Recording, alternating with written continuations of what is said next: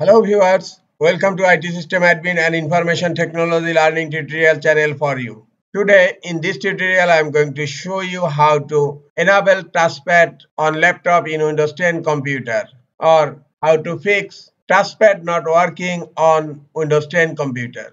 To fix this issue, go to search and in search type control panel.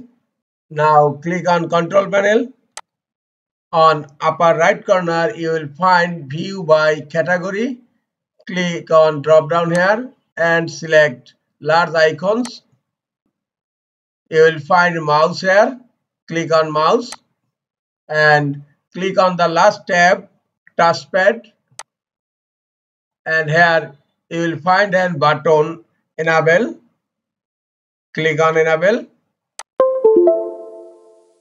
Look now touchpad is enabled on my laptop in Windows 10 computer.